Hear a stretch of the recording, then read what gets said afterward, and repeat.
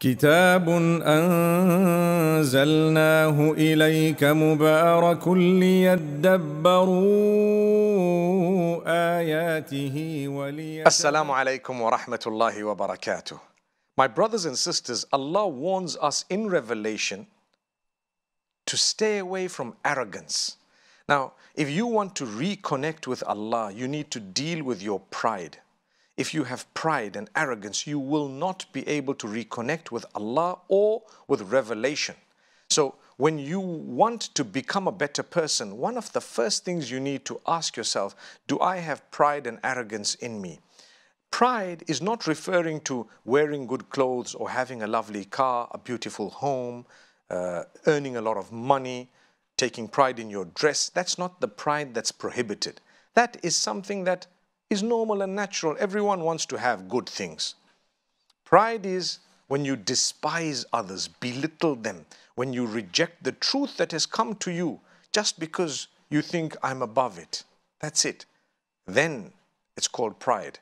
The hadith, the Prophet Muhammad, peace be upon him, says in a narration that anyone who has an atom's weight worth of pride in their hearts will not enter paradise. Now imagine if that is what the Prophet Muhammad, peace be upon him, is saying regarding entering paradise, that anyone who has pride in their hearts won't enter paradise, you can imagine how serious it is. So this is why Allah says in the Quran as well, in Surah Al-Isra, وَلَا تَمْشِ فِي الْأَرْضِ مَرَحًا Verse number 37, do not walk on earth with arrogance, with pride. When you walk, when you drive, when you are moving on earth, you look at yourself. Look at how you address people. Ask yourself, is this okay? Am I coming across as a person who's haughty? If the answer is yes, you have work to do. So ask Allah to protect you from pride. Make a supplication, call out to Allah. Dua every day, oh Allah, protect me from pride. Oh Allah, protect me from haughtiness, because Allah is the greatest. So he says, Wala fil ard. Don't move on the earth. Masha means to walk. But what would be included in that is any form of movement on earth as you drive your car, as you fly your plane, as you're in your helicopter, as you have your little wings and flying around, perhaps as you're on your, uh, um, you know, the, the latest technologies and whatever else it may be. Remember, don't be arrogant. Greet people, fulfill their rights, smile at them at least, or have a good expression. Offer help and assistance where possible and applicable. Make sure that you're a kind person. That's what makes a believer. That's what will make you connect with Allah subhanahu wa ta'ala. So we ask Allah Almighty to protect us. And Allah says that even when you're talking to people, when you're addressing people, this is verse number 53 of Surah Al Isra. Allah subhanahu wa ta'ala says, وَقُلِّ عِبَادِي يَقُولُ الَّتِي هِيَ أَحْسَنُ Tell my worshippers to say that which is the best, which is good, which is the best in terms of the way you've said it, the words you chose, and how you came across. All of that, if you are my worshipper, Allah is saying, you're going to be conscious about how you talk to people. Now, from this verse, we learn that those who don't bother how they speak to others cannot call themselves true worshippers of the Almighty, or they have a lot of work to do on themselves. And that's why we spoke in a previous episode about how important it is to apply wisdom when we're correcting people. However, here Allah Almighty clearly says, Tell my worshippers that when they are speaking, they should say it in the best possible way, whatever they want to say. So, for you to pause for a moment and think about how I'm going to come across, be it your wife, your children, your siblings, your parents, your in laws, whoever it may be, a person who works for you, or a person you work with, or a person who works under you. You need to make sure you think of what you're saying if you're a true worshipper of Allah. And if you really want to connect with Allah, watch out. don't say anything but the best.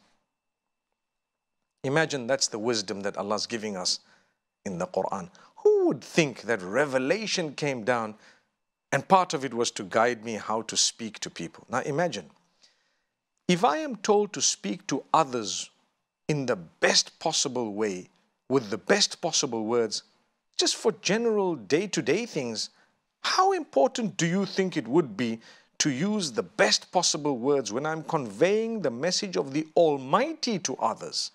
People look at Islam as a faith and they say, these people are hard and harsh and they are this and that. And it's supposed to be the total opposite.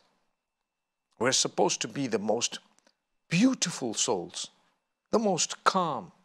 When we speak to people with respect, people should feel safe. Al-mu'minu man ammanahu nasu. A true believer is the one whom all people feel safe and secure with. That's what it is. My brothers, my sisters, that is something amazing. Now, when someone doesn't agree and they don't want to believe and they don't want to, they might say some nasty things. They might say some really horrible things. What should you say as a result? Let's look at one example given straight after this in verse number 90 of Surah Al-Isra. Allah says the disbelievers told Muhammad sallallahu alaihi wasallam, "We're not going to believe in you until you do the following." So you do the following, then we will believe in you. So what should he do according to them? لن نؤمن لك حتى تفجر لنا من الأرض ينبوعا. We want you to cause a spring to gush from the earth. Okay, that's number one. What if I do that? Well, he says, well, then they say that أو تكون لك جنة من نخيل وعنب or we want you to have a plush garden filled with palms and grapes and we want rivers to be flowing between all of that خلالها تفجيرا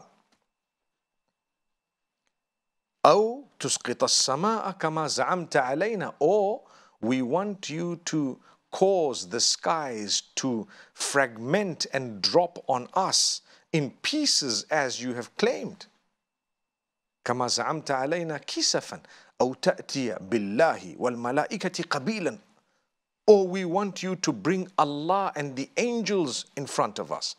Bring Allah, bring the angels, or cause the punishment that you said was going to come to us. Make the heavens or the skies fragment and drop on us. Bring for us gardens, bring for us uh, uh, grapes and dates and the palms and all these uh, springs that will gush forth from the earth. Imagine they're asking for all these things. It didn't stop there. أو يكون لك بيت من زخرف or we want to see you bring a house of gold made of gold and jewelry subhanallah subhanallah look at what they're asking just to believe that there is none worthy of worship besides your maker that's what it was the prophet muhammad peace be upon him came with one simple message ashhadu an la ilaha illallah I bear witness that there is none worthy of worship besides Allah. Worship your Maker alone. That's what he said. Because they didn't want that and they weren't prepared to connect with uh, Allah Himself or with revelation, they started saying, We demand this, we demand that, bring this, bring that. And finally they said, Oh, we want you to have a, a, a home made of gold or we want you to go up to the heavens. Tarqa fi sama. You go up. Let's see. And we will not believe that you went up unless you come back to us with a book that we can read. So, what did he say? Did he swear them? Just before that, Allah subhanahu wa ta'ala in the surah revealed, Kulli ibadi yaqulu allati hiya ahsan. Tell my worshippers to say the most beautiful words. And now Allah's making mention of all the things they said to Muhammad, peace be upon him. Do this, do this, do this, do this, do this. Do you know what the response was? Qul subhana rabbi hal kuntu illa basharar rasula. As simple as that. A beautiful response to them. Say, oh, glory be to my Lord. Was I anything besides a human as a messenger? You're asking me to do all of this. I'm a human being. Subhanallah.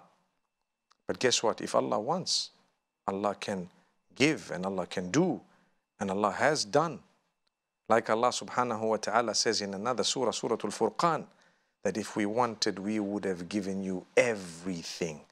Everything they ask and even beyond. But then we wouldn't have delayed their punishment if they didn't accept. The fact that we haven't given you all of that, we have delayed their punishment. May Allah Almighty have mercy on all of us and grant us goodness. أقول قولي هذا وصلى الله وسلم على نبينا محمد كتاب أنزلناه إليك مبارك ليدبروا آياته وليتذكروا